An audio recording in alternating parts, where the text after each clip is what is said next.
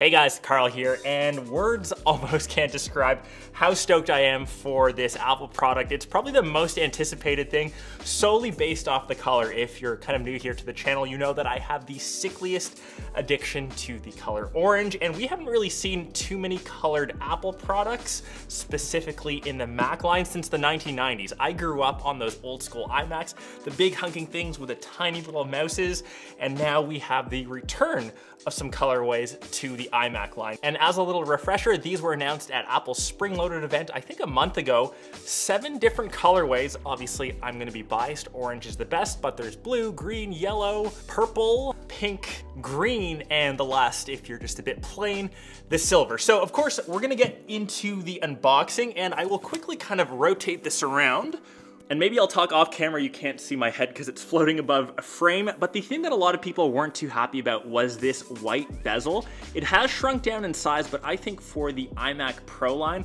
that's where we'll get a black bezel, sadly. And the color on the front, that's a bit more muted than, of course, the color which you see on the back. And quickly spinning around, you can see the thin profile of the iMac and of course iMac on the front, and that should correspond to what color you get. So I will swing this around. I believe the opening is on this side. This should now just slide down. We've got two little arrows. I'm assuming that means, oh, slide this way. Oh, and this top piece pops off. I'm actually just gonna do it on its side here. This might be a tad bit easier. So we'll remove the iMac. And underneath that, you actually have a corresponding color box to the accessories. Going through all of the accessories that come with it, funnily enough, each of the individual pieces are color matched to the iMac. So Apple will have way more SKUs than normal. They'll have, of course, an orange keyboard to match the orange iMac, blue keyboard if you've got a blue, so on and so forth. The same thing for say the cables, and maybe we'll start off with that first. This is the Power Brick. It's this new braided design, very similar once again to the Pro Display XDR, and there's actually a new power outlet or a power cable. This attaches magnetically to the back of the iMac very reminiscent of MagSafe. So this will kind of come down from your iMac. This little power adapter will live on the floor. And from there, you can plug this extra cable. This one's just the standard power cable. A lot more people are familiar with this into the wall outlet. The second accessory is just a USB-C to lightning cable. So this will be to charge your wireless keyboard. Once again, in the same braided colorway. It'll be interesting for Apple fanboys that are collectors. You'll have to maybe buy seven different colored iMacs if you want these seven different cable colors. I'm not too sure if Apple sells these separately, maybe in the near future, maybe for 30, 40, probably even $50. Who knows what Apple might do, but that's a nice little addition. Next up is the wireless trackpad, and I always grab these when I grab an iMac just for the sole purpose to edit. It just becomes so much easier. I'm so accustomed to that over on my MacBook, MacBook Pro. Once again, the orange color matching to the rest of the keyboard, and I'm assuming that will be the same with the mouse, which that is the case. An orange back mouse. Who would ever thought we'd reach the day? I honestly wouldn't say this is orange. It's more of a salmony color, maybe even closer to a bronzish color. The actual orange is peeking behind me there. I'll save the best to last. Designed by California in Apple user manuals. If we can get orange Apple stickers, And this is where I'm a bit confused. This looks like a bronze sticker. This to me is an orange. Yes, it matches to the keyboard, to everything else, but I think this proves this shouldn't be the orange iMac. It should be the whatever color this is. To me, the rest of the user manuals, this is orange, not this sticker color. Minor inconvenience. But anyways, this is the accessories. Last but not least, of course, the keyboard. So you do have three different options this time around.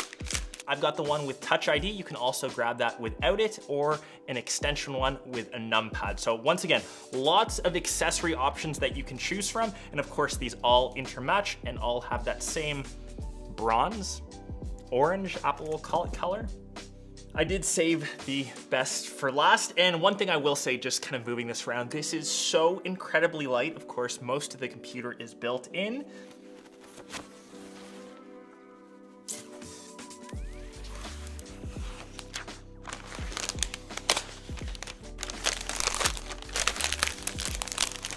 That is what I'm talking about. This is orange. This is what orange is supposed to look like. I wish this back was found everywhere. And of course, swing it around to the other side, you've just got this giant hello sticker. Hello, 24 inch iMac.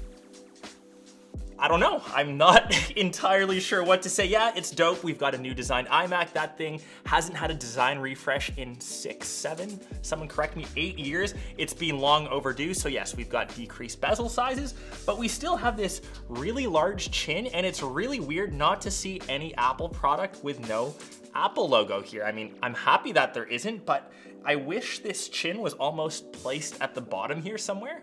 I'd rather personally have a full display just like on the Pro Display XDR. I think that's what a monitor or that's what a display should look like. Obviously that's personal preference, but even the material on this, it's a glossy finish. Not too sure if you can hear that, but it is different than the salmon, bronze, whatever we end up deciding to call it on the bottom slash on the back. So it's almost like there's three different colors. Of course, the chin, what you've got on the base, the aluminum, and of course, the favorite color, what you've got on the back. In the end, it is what it is, and color is a very subjective and personal opinion, and I'm sure Apple has spent thousands and thousands of hours on what the best possible color combinations would be.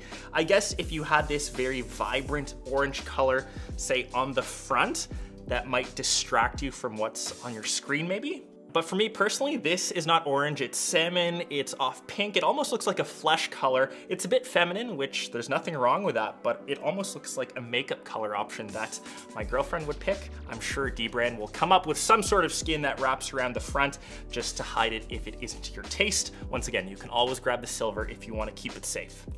Keep it secret. Keep it safe. To the rest of the design though, razor, razor thin. Like an Apple computer, everything is built into the back because of that new M1 architecture. They're able to kind of reduce the sizing. You no longer have that bulge that the older iMacs had.